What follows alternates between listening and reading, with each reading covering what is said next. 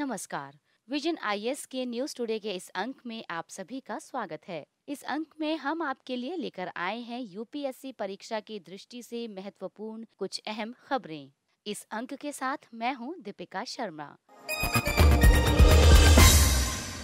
सबसे पहले नजर डालते हैं इस अंक की हेडलाइंस पर भारत ने जलवायु परिवर्तन पर संयुक्त राष्ट्र सुरक्षा परिषद के प्रारूप प्रस्ताव के विरुद्ध मतदान किया सरकार ने उच्चतम न्यायालय से ग्रेट इंडियन बस्टर्ड के पर्यावास में भूमिगत केबल्स पर आदेश को संशोधित करने का आग्रह किया कोरियाई युद्ध की समाप्ति पर सैद्धांतिक रूप से सहमति प्रकट की गई उच्चतम न्यायालय ने गिग वर्कर्स के लिए सामाजिक सुरक्षा की मांग करने वाली जनहित याचिका पर केंद्र सरकार को नोटिस जारी किया भारतीय प्रतिभूति और विनिमय बोर्ड द्वारा एल्गो ट्रेडिंग को विनियमित करने का प्रयास किया जा रहा है और भारतीय रिजर्व बैंक के गवर्नर ने संकटग्रस्त शहरी सहकारी बैंकों में सुधारों का संकेत दिया है अब खबरें विस्तार से भारत ने जलवायु परिवर्तन पर संयुक्त राष्ट्र सुरक्षा परिषद के प्रारूप प्रस्ताव के विरुद्ध मतदान किया प्रारूप प्रस्ताव के अंतर्गत संयुक्त राष्ट्र महासचिव से जलवायु संबंधी सुरक्षा जोखिम को व्यापक संघर्ष निवारण रणनीतियों में एक केंद्रीय घटक के रूप में एकीकृत करने का आह्वान किया गया है प्रस्ताव में जलवायु परिवर्तन पर उपयुक्त चर्चा की मांग की गई है ये प्रस्ताव जलवायु को अंतर्राष्ट्रीय शांति और सुरक्षा के लिए खतरा उत्पन्न करने वाले मुद्दे के रूप में चित्रित करता है उदाहरण के लिए जलवायु परिवर्तन ने लोगों के जीवन को प्रभावित किया है यहाँ तक कि साहेल और अफ्रीका के अन्य हिस्सों में संघर्षों में वृद्धि भी की है हालांकि भारत चीन और रूस ने इसका विरोध किया है और इसके विरुद्ध मतदान किया है आइए जानते हैं प्रारूप प्रस्ताव के विरोध के कारणों को यूएनएससी के कई सदस्य ऐतिहासिक उत्सर्जन के कारण जलवायु परिवर्तन में मुख्य योगदान करता है यदि सुरक्षा परिषद इस मुद्दे पर उत्तरदायित्व लेती है तो केवल कुछ देशों को जलवायु संबंधी सभी मुद्दों पर निर्णय लेने की पूरी छूट प्राप्त हो जाएगी व्यापक अंतर्राष्ट्रीय समुदाय के साथ जलवायु संबंधी वार्ता के आयोजन के लिए जलवायु परिवर्तन पर संयुक्त राष्ट्र फ्रेमवर्क कन्वेंशन नामक पहले से ही एक संयुक्त राष्ट्र पैनल विद्यमान है ये विकासशील देशों को एक गलत संदेश प्रेषित करता है कि उनकी चिंताओं को दूर नहीं किया जा रहा और विकसित देशों को यू के तहत अपनी प्रतिबद्धताओं को पूरा करने के लिए उत्तरदायी नहीं ठहराया जा रहा है इस प्रकार सुरक्षा की आड़ में जलवायु परिवर्तन वार्ता की उपेक्षा की जा सकती है ये ग्लासगो में कठिनाई से बनी सहमति को कमजोर करेगा क्योंकि ये संयुक्त राष्ट्र के कई सदस्यों के बीच विवाद उत्पन्न कर सकता है यू का मुख्यालय न्यूयॉर्क में स्थित है इसका प्राथमिक उत्तरदायित्व अंतर्राष्ट्रीय शांति और सुरक्षा बनाए रखना है यूएनएससी की संरचना में पंद्रह सदस्य शामिल हैं, जिनमें पाँच स्थायी और दस अस्थायी हैं। स्थायी सदस्य हैं चीन फ्रांस रूस ब्रिटेन और अमेरिका और यदि बात करें अस्थायी सदस्यों की तो महासभा द्वारा दो वर्ष के कार्यकाल के लिए चुने गए सदस्य अस्थायी सदस्य होते हैं भारत ने जनवरी 2021 में एक अस्थायी सदस्य के रूप में अपना दो वर्ष का कार्यकाल शुरू किया है हालांकि संयुक्त राष्ट्र के अन्य अंग सदस्य देशों को सिफारिशें करते हैं परंतु निर्णय लेने की शक्ति केवल सुरक्षा परिषद के पास ही है सरकार ने उच्चतम न्यायालय से ग्रेट इंडियन बस्टर्ड के पर्यावास में भूमिगत केबल्स पर आदेश को संशोधित करने का आग्रह किया उच्चतम न्यायालय ने एम के रंजीत सिंह बनाम भारत संघ अप्रैल 2021 मामले में भविष्य में ग्रेट इंडियन बस्टर्ड के संभावित और प्राथमिकता वाले पर्यावास दोनों में सभी विद्युत लाइनों को भूमिगत बिछाना अनिवार्य कर दिया था हालांकि पर्यावरण वन और जलवायु परिवर्तन मंत्रालय विद्युत मंत्रालय तथा नवीन और नवीकरणीय ऊर्जा मंत्रालय ने संयुक्त रूप से इन कारणों से आदेश को संशोधित करने का आग्रह किया है ये कारण है ये निर्णय भारत में विद्युत क्षेत्र और जीवाश्म ईंधन से स्वच्छ ऊर्जा की ओर संक्रमण को व्यापक रूप से प्रभावित करेगा प्रतिबंधित किए जा रहे क्षेत्र में लगभग दो गीगावाट नवीकरणीय ऊर्जा क्षमता मौजूद है विशेष रूप से ये अत्यधिक सौर विकिरण प्राप्त करने वाला क्षेत्र भी है उच्च वोल्टेज विद्युत लाइनों को भूमिगत करना तकनीकी रूप से संभव नहीं है इसके अतिरिक्त इस क्षेत्र से उत्पादित नवीकरणीय ऊर्जा की लागत भी अधिक हो जाएगी ग्रेट इंडियन बस्टर्ड के लिए शिकार पर्यावास शरण हरितीकरण परियोजनाएं जो शुष्क घास भूमियों को वन्य क्षेत्रों में बदल देती हैं आदि ग्रेट इंडियन बस्टर्ड के लिए अन्य खतरे हैं इसके अतिरिक्त पवन टर्बाइनों और विद्युत पारेषण लाइनों के टकराने से ग्रेट इंडियन बस्टर्ड की मृत्यु का खतरा विद्यमान रहता है अब बात करते हैं ग्रेट इंडियन बस्टर्ड संरक्षण के लिए भारत सरकार द्वारा किए गए उपायों की ये पर्यावरण और वन मंत्रालय के वन्यजीव पर्यावासों के एकीकृत विकास के रिकवरी कार्यक्रम में शामिल प्रजातियों में से एक है ये राष्ट्रीय वन्यजीव कार्य योजना के तहत शामिल है आइए अब जानते हैं ग्रेट इंडियन बस्टर्ड के बारे में ग्रेट इंडियन बस्टर्ड के पर्यावास में शुष्क और अर्ध शुष्क घास भूमिया कांटेदार झाड़ियों वाला खुला प्रदेश तथा खेतों के साथ बीच बीच में उपजी लंबी घास शामिल है ये सिंचित क्षेत्रों से दूर रहता है राजस्थान में इनकी संख्या सबसे अधिक है और ये भारतीय उपमहाद्वीप के लिए स्थानिक प्रजाति है ग्रेट इंडियन बस्टर्ड को भारतीय वन्य जीव संरक्षण अधिनियम 1972 की अनुसूची एक में सूचीबद्ध किया गया है प्रवासी प्रजातियों पर कन्वेंशन यानी सी में तथा वन्य जीवों और पादपों के लुप्त प्राय प्रजातियों के अंतर्राष्ट्रीय व्यापार पर कन्वेंशन के परिशिष्ट एक में ये सम्मिलित है इसके अलावा अंतर्राष्ट्रीय प्रकृति संरक्षण संघ आई की लाल सूची में ये क्रिटिकली एंडेंजर्ड के रूप में भी सूचीबद्ध है राजस्थान में राष्ट्रीय मरु उद्यान अभ्यारण्य गुजरात में नलिया महाराष्ट्र में वरोरा और कर्नाटक में बेल्लारी ग्रेट इंडियन बस्टर्ड के महत्वपूर्ण स्थल हैं। कोरियाई युद्ध की समाप्ति पर सैद्धांतिक रूप से सहमति प्रकट की गई। दक्षिण कोरियाई राष्ट्रपति ने घोषणा की है कि चीन उत्तर कोरिया और संयुक्त राज्य अमेरिका कोरियाई युद्ध को समाप्त करने की घोषणा के लिए सैद्धांतिक रूप से सहमत हैं। कोरियाई युद्ध वास्तव में वर्ष उन्नीस में युद्ध विराम संधि पर हस्ताक्षर करने के बाद समाप्त हो गया था किंतु एक शांति संधि पर कभी भी हस्ताक्षर नहीं किए गए थे अब जानते हैं कोरिया युद्ध के बारे में इस युद्ध की शुरुआत जून 1950 में सोवियत संघ समर्थित साम्यवादी उत्तर कोरियाई द्वारा 38वीं समानांतर रेखा पर घुसपैठ के साथ हुई थी ज्ञातव्य है कि ये रेखा उत्तर कोरिया और दक्षिण कोरिया के मध्य सीमा का निर्माण करती है दक्षिण कोरिया का समर्थन करने वाले अमेरिकी सैनिक युद्ध में शामिल हो गए तथा चीन और यूएसएसआर द्वारा समर्थित उत्तर कोरियाई सेना को पीछे धकेल दिया गया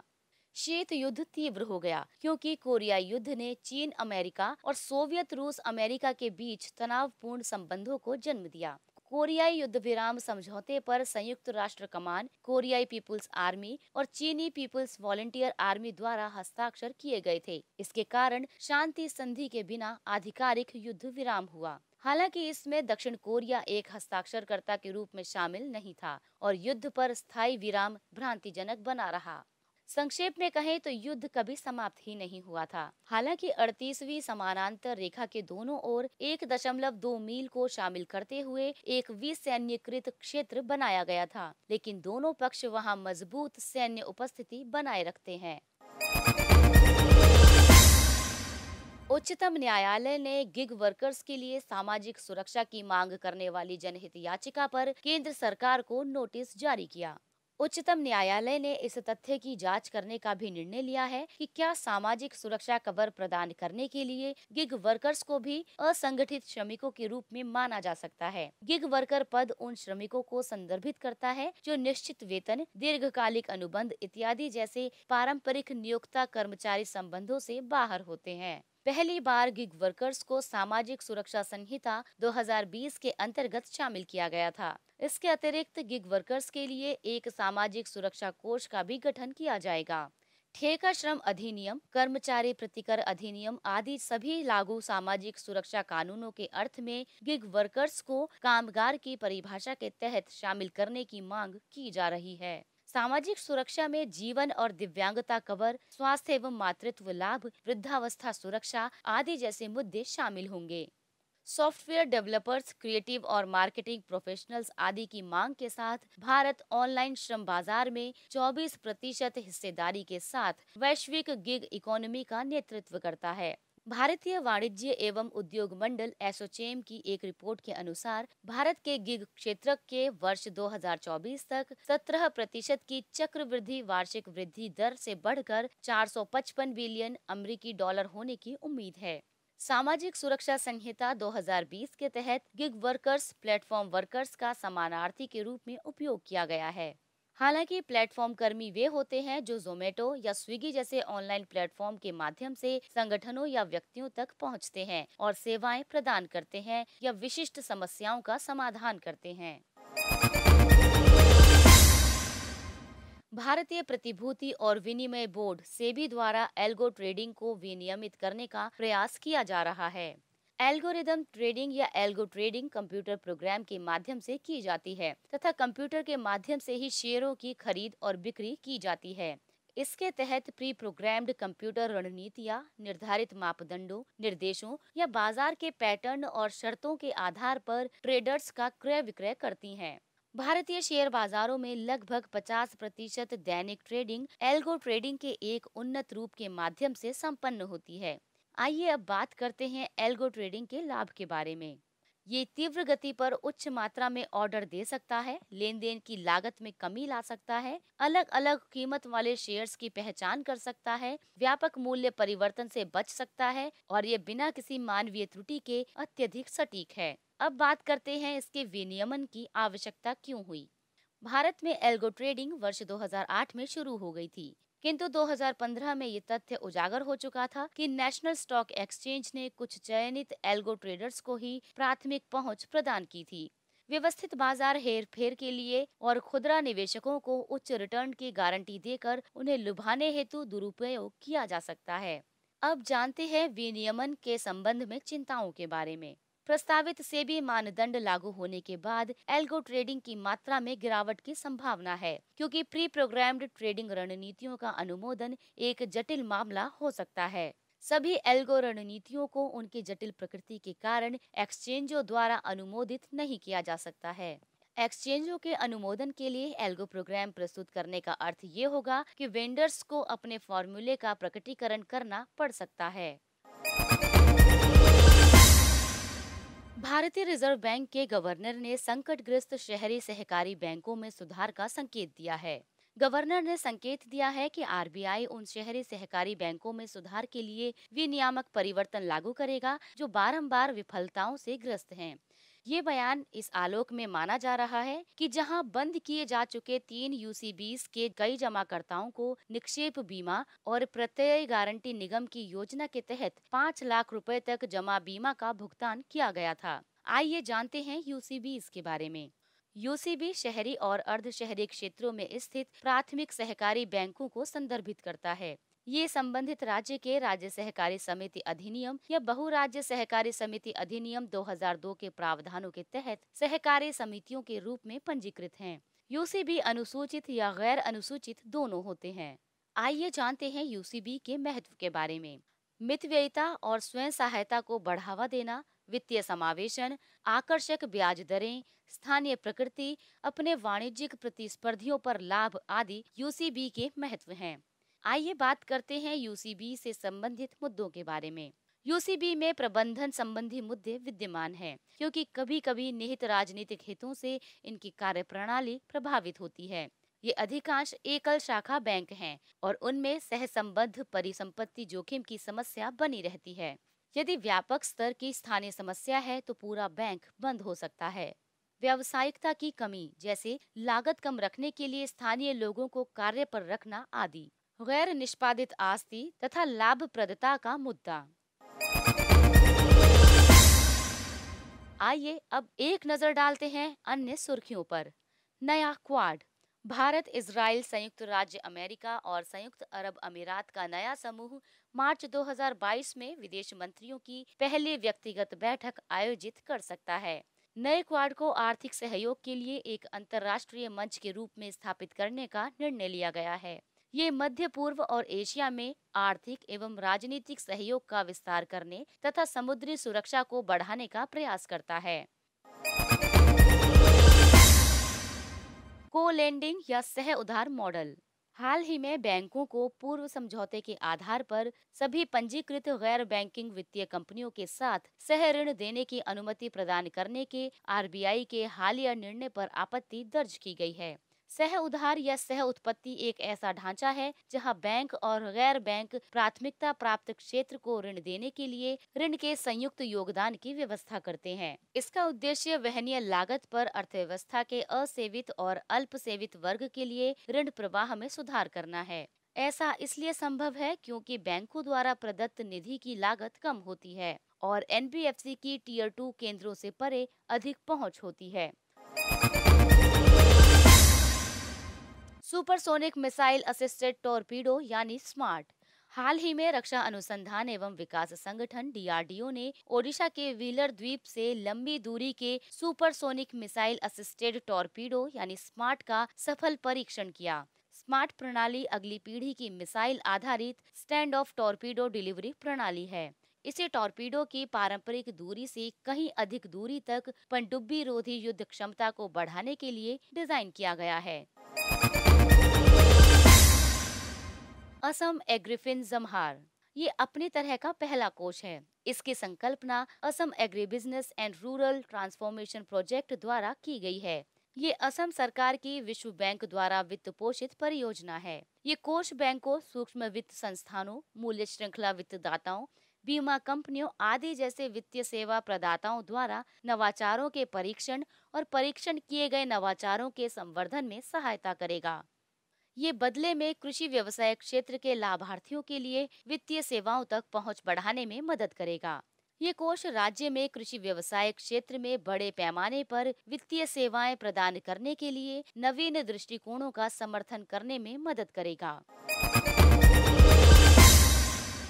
कृषि photovoltaic Cochin international airport limited ने बड़े पैमाने पर एग्री वोल्टिक कृषि पद्धति विकसित की है एग्रीवोल्टिक फसल और सौर ऊर्जा उत्पादन की एक मिश्रित प्रणाली है इसमें एक ही भूमि क्षेत्र पर एक ही समय में सौर पैनलों के नीचे फसलों का उत्पादन किया जाता है ये सतत विकास प्राप्त करने के प्रयासों में एक उभरती हुई प्रणाली है जो भोजन और ऊर्जा उत्पादन को जोड़ती है एग्री वोल्टिक प्रणाली में पीवी मॉड्यूल को एक झुकाव कोण पर संस्थापित किया जाता है ये कोण संस्थापन स्थल की ऊंचाई के बराबर होता है एग्रीवोल्टिक पद्धति विद्युत उत्पादन और कृषि उपज दोनों को प्राप्त करके वर्तमान परिस्थितियों को नियंत्रित करती है orbiting satellite carrying amateur radio यानी ऑस्कर वन ऑस्कर वन को दिसंबर 1961 में सफलतापूर्वक लॉन्च किया गया था ये पहला गैर सरकारी उपग्रह था जिसे निजी नागरिकों द्वारा बनाया गया था ये एक अन्य प्राथमिक मिशन के द्वितीय पेलोड के रूप में अलग होने के बाद अपनी कक्षा में पहुंचने वाला पहला उपग्रह था इसे वायुमंडल के ठीक ऊपर निम्न भूकक्षा में स्थापित किया गया था और स्थापना के बाद इसका कार्य मॉर्स कोड में एच अक्षरों को प्रसारित करना था वर्ष 1961 में ऑस्कर वन के प्रक्षेपण के बाद से अव्यवसायी रेडियो उपग्रहों के लिए ऑस्कर नाम रखने की परंपरा रही है अब तक 111 उपग्रहों को ऑस्कर के रूप में नामित किया गया है